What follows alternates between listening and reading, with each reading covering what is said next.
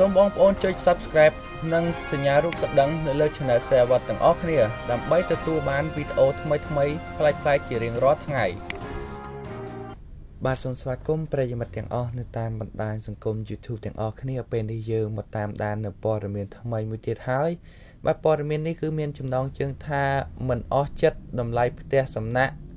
អង្គវិសាល គឺតម្លៃ15ទៅ20ដុល្លារ ក៏សម្រេចចិត្តទេសួរផ្ទាល់ទៅដឹងការពិតស្ទើរតែដាច់ផ្ងាបាទចង់ដឹងថាយ៉ាងណានៅតម្លៃដែលគេតែងតែល្បីថាមាននៅកំពង់សោមមានត្រឹមតែ15ទៅ20ដុល្លារនោះទេនៅពេលនេះគឺនៅមានផ្ទះសំណាក់មួយដែរបាទបន្ទាប់ពីវីដេអូស្ត្រី2នាក់ប្រកាសថាបន្ទប់ផ្ទះសំណាក់របស់ខ្លួន នៅកំពង់សោមតម្លៃត្រឹមតែ15ទៅ20ដុល្លារក្នុងមួយយប់ ទោះថ្ងៃធម្មតាឬក៏ថ្ងៃបុណ្យទាន បានធ្វើឲ្យអ្នកប្រើប្រាស់បណ្ដាញសង្គម Facebook ជាច្រើនចាប់អារម្មណ៍និងត្រេកអរជាខ្លាំងព្រោះជាតម្លៃសមរម្យពួកគេអាចទទួលយកបាន ពេលទៅលេងនៅទីនោះការប្រកាសបែបនេះធ្វើឡើងបន្ទាប់ពីតារាកំ pl ែងអ្នកនាងខ្ញងបានចេញវីដេអូត្អូញត្អែក៏ដូចជារិះគន់ផ្ទះសំណាក់សន្តាគារនៅកំពង់សោម ថ្ងៃបុណ្យអុំទូកថាថ្លៃហួសលទ្ធភាព និងមិនមានបន្ទប់ជួលឲ្យពលរដ្ឋខ្មែរទៀតផង គឺរហូតជាង100ដុល្លារឯណោះក្នុងមួយយប់វីដេអូខ្លីប្រមាណ72នាទីរបស់អ្នកនាងខ្ញុំបាននិយាយថាឬគេនិយាយ1000ដងមិនស្មើនឹងបានឃើញផ្ទាល់នឹងភ្នែកម្ដងនោះទេ មកខេត្តកំពង់សោម ធ្លាប់តែឮគេនិយាយថាមិនហ៊ានមកលេងទៀតទេគ្មានកន្លែងលេងគ្មានផ្ទះសំណាក់គេងព្រោះចិនជួលយកអស់ហើយ វាមិនអត់ទេវាមិនមាន តែវាមិនមានតម្លៃសម្រាប់ខ្មែរយើងទទួលយកបាននោះទេ ព្រោះវាថ្លៃសម្រាប់យើងអ្នកអត់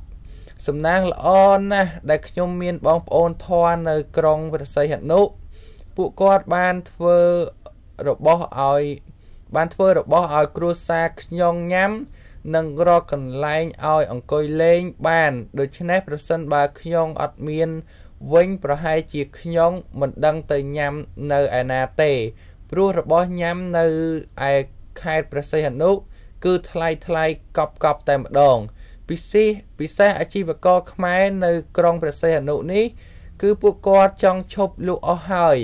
ព្រោះមិនដឹងថាលក់ឲ្យអ្នកណាញ៉ាំទៀតបើគ្មានអ្នកមកលេខផងនោះចំណែកឯជនជាតិចិនរស់នៅក្រុងព្រះសីហនុវិញ គឺពួកគាត់លក់ឲ្យតែជនជាតិចិនដូចគ្នា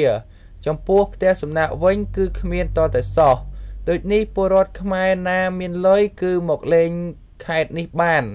និងមានកន្លែងសម្រាកនៅសន្តាគារមួយយប់100ដុល្លារជាង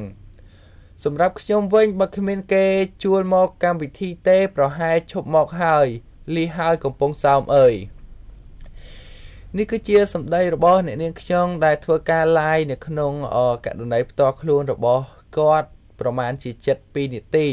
ចំណែកឯអ្នកប្រើប្រាស់បណ្ដាញសង្គមជាច្រើន ពេលបានឮម្ចាស់ផ្ទះសំណាក់អង្គវិសាលប្រកាសថា បន្ទប់ខ្លួនតម្លៃត្រឹមតែ15ទៅ20ដុល្លារក្នុងមួយយប់តែប៉ុណ្ណោះពួកគេខ្លះក៏ត្រៀមចិត្តកក់ទុកសម្រាប់ថ្ងៃឆ្លងឆ្នាំខាងមុខតែអ្វីអ្វីគឺហួសពីការរំពឹងទុកបុរសម្នាក់បានទូរស័ព្ទសាកសួរតម្លៃនិងចង់កក់បន្ទប់ផ្ទះសំណាក់អង្គវិសាល5បន្ទប់សម្រាប់ចូលឆ្នាំសកលខាងមុខព្រោះឃើញគេប្រកាសតែ15ទៅ20ដុល្លារតែប៉ុណ្ណោះ បែរខាងផ្ទះសំណាក់ឆ្លើយថាតម្លៃ15ទៅ20ដុល្លារនេះ មានតែ4បន្ទប់ប៉ុណ្ណោះក្នុងចំណោមទាំងអស់28បន្ទប់ហើយតូចចង្អៀតមិនសូវស្អាត ចំណែកនៅសល់24បន្ទប់ទៀតគឺតម្លៃចាប់ពី25ទៅ50ដុល្លារក្នុងមួយយប់ហើយអាចដំឡើងថ្លៃទៅទៀតនៅថ្ងៃបុណ្យជាតិធំធំ ចំណែកអាហារពេលមិនមានឥត គិតថ្លៃនោះទេ គឺអាហារពេលព្រឹកល្ងាចគិតលុយបន្ថែមឯបរិសម្នាក់ទៀតដែលបានស្នាក់នៅផ្ទាល់ការពីថ្ងៃបុណ្យអុំទូកកន្លងទៅ បានបង្ហាញវិក័យប័ត្រថា ការប៉ិតតម្លៃចាប់ពី40ទៅ50ដុល្លារឯណោះក្នុងមួយយប់បាទនេះគឺជាព័ត៌មានថ្មីមួយទៀតតកតងជាមួយនឹងក្រុងបសីអនុនៅឯកំពង់សោមយើងហ្នឹងគឺ គឺមានការអជជែកវែកញែកគ្នាជាច្រើននៅពេលដែលអ្នកនាងខ្ញុំគាត់បានបង្ហោះជាវីដេអូមួយដែលពេលនេះគឺពិតជាចិននៅច្រើនមែនតែននៅឯ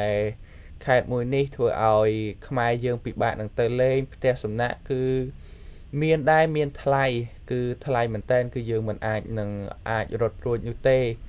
ហើយក៏មិនសូវជាមានខ្មែរទៅលេងច្រើនដូចពេលមុនដែរ បាទគឺ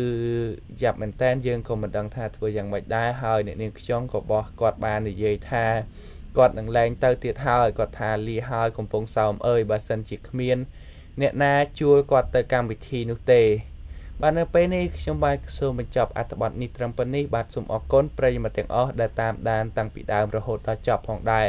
បាទសូមអរគុណសូមជម្រាបលា